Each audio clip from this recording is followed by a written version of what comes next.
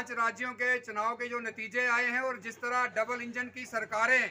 Bharatiya Janata party की जो है, वो नरेंद्र मोदी जी, अपने हमारे राष्ट्रीय अध्यक्ष नड्डा जी और जोगी जी के नेतृत्व में फिर से चारों प्रदेशों में फिर से भाजपा की सरकार बनी है।